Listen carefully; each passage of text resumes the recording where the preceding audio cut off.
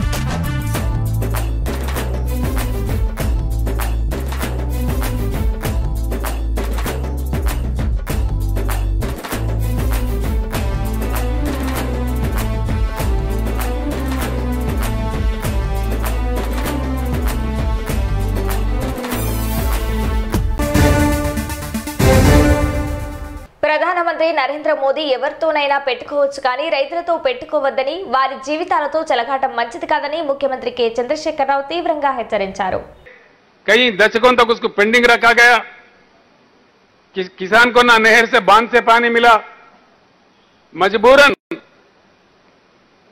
जमीन का पानी को ढूंढ- ढूंढना पड़ा आप हैरत करेंगे राकेश टिकायत जी शायद ही तेलंगाना के मुकाबले में सारे देश में कहीं भी इतने बोरवेल नहीं होंगे। तेलंगाना राज्य में ही सिर्फ़ सिर्फ़ तेलंगाना राज्य में आज 30 लाख बोरवेल चलते हैं 30 लाख। वहाँ के किसानों ने अपने खून पसीने की कीमत से पचास हज़ार करोड़ के ऊपर खर्च करके इन तीस हज़ार बोरों का खुदवाई की। लाइनों के लिए, करंट लाइन के लिए पैसा भर्ती किया। अपने आप में मोटर खरीदा और उसे धान उगाने का काम किया कईयों दशक। आँखों में पानी लेते हुए। यह हमारी दुख भरी कहानी थी। सारी व्यवस्था जो माइनर इरिगेशन का व्यवस्था था, जो हमारे महान काकतीय राजाओं ने दिया था, आंध्र प्रदेश सरकार ने उसको नजरअंदाज किया, उसको बर्बाद किया। उसके बाद ज़मीन में पानी नीचे गया नीचे गया। 800 फीट में, हज़ार फीट में 900 फीट में पानी मिलता था। खेत उगाओ, बीच अदर में सूख जाओ, बिजली पाँच छह घंटा भी सही नहीं आता। अब क्या करे किसान? एक जिला है जी महबूब नगर। उस ज़िले का आबादी है 35 लाख। वहाँ से 20 लाख लोग पेट हाथ में लिए मजदूरी करने देश के कोने कोने में जाते थे। ये हमारा दुख था। किसानों के आत्महत्या हज़ारों के तादाद में। और किसानों के परी काम करने वाले जो दूसरे लोग होते, वो भी बिछड़ गए। सारी ग्रामीण व्यवस्था में दुख ही दुख भर गया था। पूरे बिखर गए थे। तेलंगाना समाज में एक ज़बरदस्त शोक। उससे लेके तेलंगाना जनता 1956 से लेके छह दशक तक अलग राज का मांग करते रहे। हम अलग राज मांगते हुए, कई बार, कई हमारे युवा शहीद हुए। 1969 के मूवमेंट में हमारे 400 युवा पुलिस गोली के शिकार हुए, मारे गए। कई लोग, लाखों लोग जेल गए। हम कई दुख झेले थे। जब इस बार 201 में ये गुलाबी झंडा उठा। फिर एक बार जय तेलंगाना नारा गूंजा। तो हमने काफ़ी प्रयास करके पूरी देश के राजनीतिक दलों को समझा समझा के मना लिया। काफ़ी मशक्कत के बाद, काफ़ी काम करने के बाद, चौदह पंद्रह साल के लगातार लड़ाई के बाद 2012 जून देखो तेलंगाना राज्य बना। तेलंगाना चौदह। राज्य हमारा बना। आखिर हमारा सपना साकार हुआ।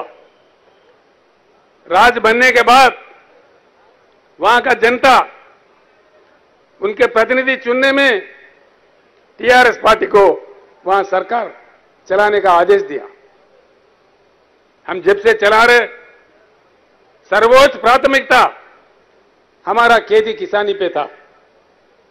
हम सारे जलाशय जो तालाब गाँव गाँव में होता है, छियालीस हज़ार तालाबों का पुनरावृत्ति किया।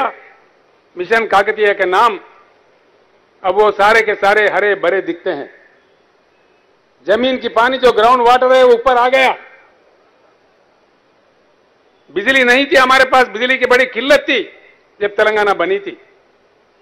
काफ़ी कोशिशों से कई हज़ारों करोड़ खर्च करके हिंदुस्तान का एकलौता राज एक ही राज्य है आज हिंदुस्तान में 24 घंटा हर किसी को क्वालिटी पावर देता है। आज हम देखते हैं सारे देश में जंग, प्रधानमंत्री के खुद के गुजरात राज्य में भी किसान उमड़ पड़े हैं रोडों पे, करंट का मांग करते हुए। सारे हिंदुस्तान परेशान है। लेकिन मैं फकर से कह सकता हूँ, एक ही तेलंगाना राज्य है, जहाँ हर किसी को 24 घंटा उत्तम दर्जे का पावर दिया जाता है। और खास तौर पर आपने अपने भाषण में जो कहा, किसानों के लिए 24 घंटा मुफ़्त करंट देने वाला एक ही एक राज्य है हिंदुस्तान में तेलंगाना राज्य।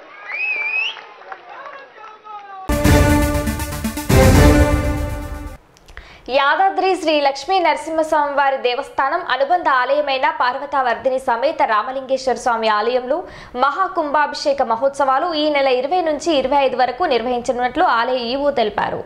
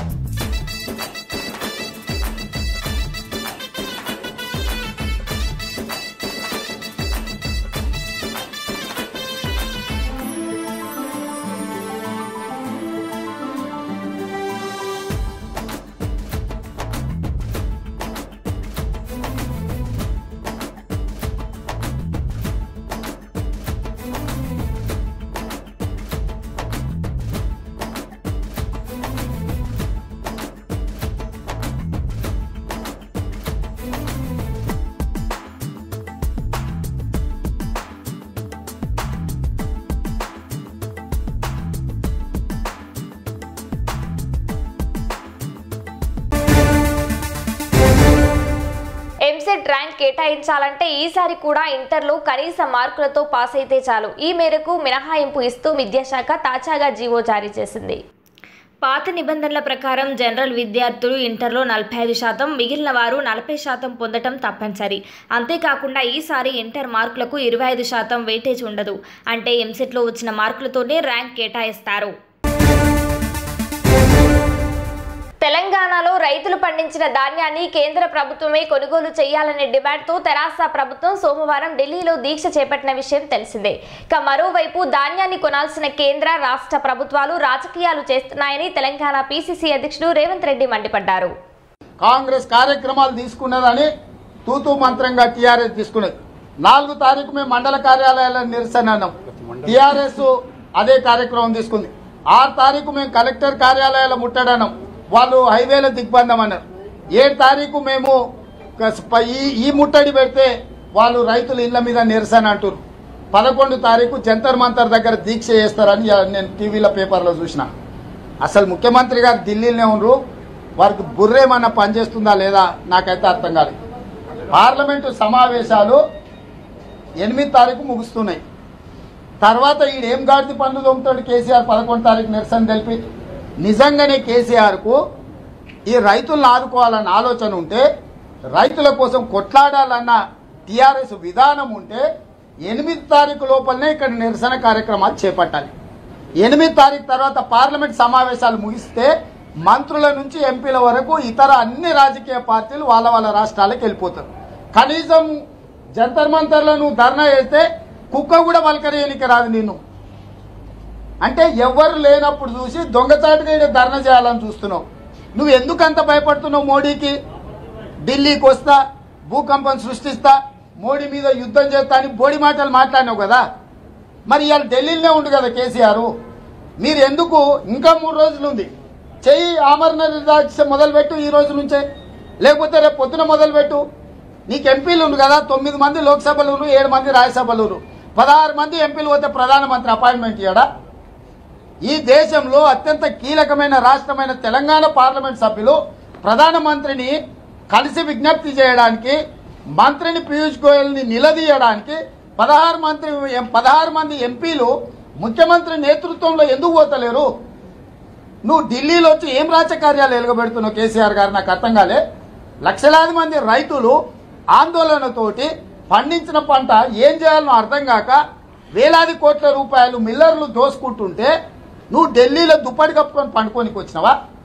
నీకు నిజంగానే చిత్తశుద్ధి ఉంటే తక్షణమే ఇవాళ ప్రయత్నం చేయి ప్రధానమంత్రిని కలవడానికి కేంద్ర మంత్రి పీయూష్ గోయల్ని కలవడానికి ప్రయత్నం చేయి. రాష్ట్రంలో బీపీ షుగర్ రోగులకు వాళ్ళ ఇండ్ల వద్దకే వెళ్ళి మెడిసిన్ అందజేయాలని ప్రభుత్వం నిర్ణయించింది. క్షేత్రస్థాయిలో పనిచేసే ఆశాలు ఏఎన్ఎంల ద్వారా ఈ మందులు పంపిణీ చేయనున్నారు. కంపెనీలు తమకు టీఎస్ఎంఎస్ ఐడిసి ఇచ్చిన ఆర్డర్ ప్రకారం తొలుత సెంట్రల్ డ్రగ్ స్టోర్లకు మందులు పంపిణీ చేస్తాయి. ఇక్కడి నుంచి టీఎస్ఎంఎస్ ఐడిసి జిల్లాల్లోని డ్రగ్ స్టోర్లకు సప్లై చేస్తుంది. అక్కడి నుంచి హాస్పిటళ్ళకు వెళ్తాయి. ఈ సిస్టమ్ అంతా ఇప్పటికీ ఆన్లైన్లో ఉంది. కొన్ని హాస్పిటల్లో ఏ ఏ పేషెంట్లకు మెడిసిన్ ఇస్తున్నారో కూడా ఫార్మసిస్టులు ఆన్లైన్ చేస్తున్నారు. ఈ పద్ధతిని అన్ని హాస్పిటళ్ళకు విస్తరించాలని మంత్రి ఆదేశించారు. దీనికి సంబంధించిన కసరత్తులు జరుగుతున్నాయని త్వరలోనే మందులు పంపిణీని పూర్తి పూర్తిగా డిజిటలైజ్ చేస్తామని ఆఫీసర్లు చెబుతున్నారు హాస్పిటల్లో ఏ ఏ మెడిసిన్ అందుబాటులో ఉందో ఈ సిస్టంలో చూస్తే తెలిసిపోతుందన్నారు.